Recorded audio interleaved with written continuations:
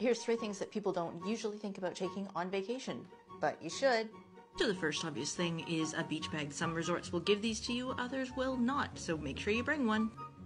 Number two is a sturdy shopping bag. Whether you're buying souvenirs or hitting up the local grocery store for some cheap, cheap vanilla, this is definitely one to bring.